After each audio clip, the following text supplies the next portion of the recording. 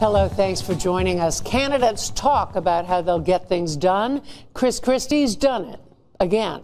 Just weeks after he brokered a deal with competing leaders of the Senate and Assembly to get casinos in North Jersey, he's moved to repair Atlantic City's faltering finances. Not with a state takeover the Senate president wanted, not the bankruptcy the city's mayor had threatened, but a compromise cut down the middle. Chief political correspondent Michael Aron was in the room for the announcement. When Governor Christie walked out of his office with Senate President Steve Sweeney, the surprise was that Atlantic City Mayor Don Guardian was with them. Last week, Guardian was railing against a new Sweeney initiative to have the state take over the city's finances. Guardian's preferred solution was to declare bankruptcy and restructure city debt.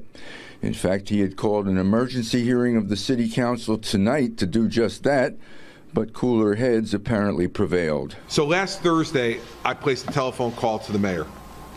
And I told him that my view was the city needed help, and I wanted to help the city, and that we needed to work together to get to a solution and not have conflict and strife between the two of us. The deal is to give the state local finance board expanded powers over the city to restructure debt to amend or terminate all labor contracts, including those collectively bargained, to dissolve or transfer all city boards and commissions, to consolidate or share services with Atlantic County, and to privatize municipal assets like the water utility. Sweeney, who has been leading this charge for two weeks, was asked if this is indeed the T word for takeover. I don't think it's a takeover, an intervention, or as me and the mayor have spoken, a partnership. But we have to fix this government. You know, it's not Atlantic City's fault they lost two thirds of their revenue all at once. But they're spending $3 and taking one in. Mayor Guardian was asked if his change of heart was just a capitulation to the stronger force of the state. We looked at all of the options, and, basically, you know, there's four options do nothing, um, have the state take over, um, file bankruptcy, or form a partnership. Not, not hard to figure out what you want to do and what's best for Atlantic City and the state of New Jersey. We like being a cash cow. We like being an ATM for the state.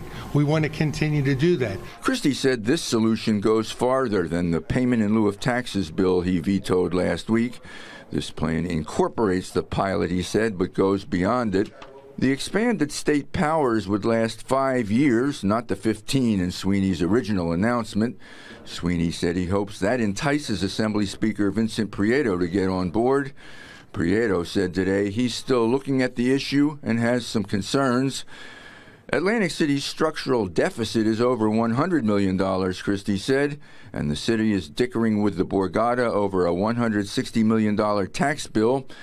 Christie said after five years of a state run tourism district and one year of an emergency manager, it's time to step up state involvement, and the media can call it what they like. The bottom line now is the only thing that's really holding Atlantic City back is its governmental structure and the debt and the and the cost of its government.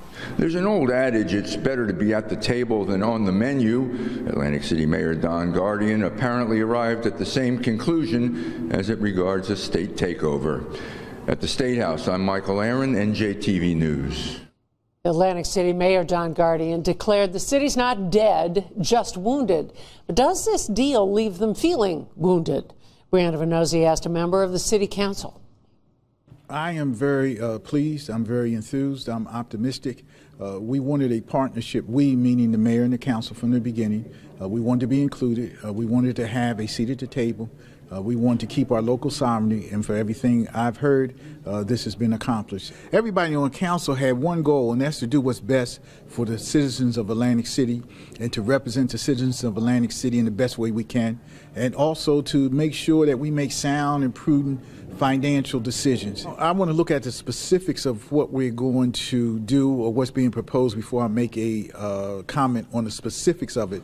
I think the general concept is what I'm responding to. The general concept of us working together, the general concept of us having a partnership and having a seat at the table. Uh, then the specifics we'll have to hash out. But when you make hard decisions, obviously uh, some people are not going to be pleased, and unfortunately, it's going to be some pain uh, because we're in such a deep hole. But the specifics of it we'll we'll get to.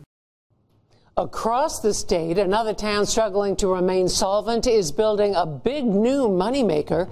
That tops tonight's Garden State Express. Our first stop, Camden, where the Philadelphia 76ers gave a sneak peek at their spanking new 125,000 square foot training complex taking shape on the waterfront. It will be the largest team practice facility and corporate office in the NBA. What will a $44 million construction loan and $82 million in tax credits get them? Two regulation basketball courts with 10 baskets, a 2,800 square foot locker room, a press room, film room, balcony, player restaurant, and business offices, and a state of the art performance recovery, hydrotherapy, and wellness room. Next to Trenton, where, on the strength of expanded health training, Thomas Edison State College has morphed into a university.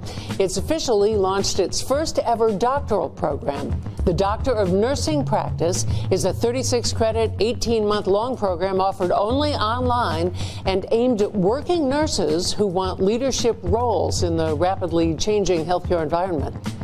The university will take only 10 applicants at first, narrowing the focus to make sure the students meet the program's rigorous standards. Finally, Princeton, where a kindergarten class has had a surprising lesson in cryogenics. In a student's bag salad, purchased at a totally organic market, was discovered an impeccably well refrigerated, nearly lifeless, three inch long green anole lizard. Coincidentally, the first reptile to have its entire genome sequenced. Did the five year old freak out? She did not. She did what any kindergartner worth her salt would do. She warmed it back to life and brought it to her science teacher the next day. Green Fruit Loop, that's its name, is now the class mascot. And that's our Garden State Express for Tuesday, January 26th. Something up in your town? Tip us off.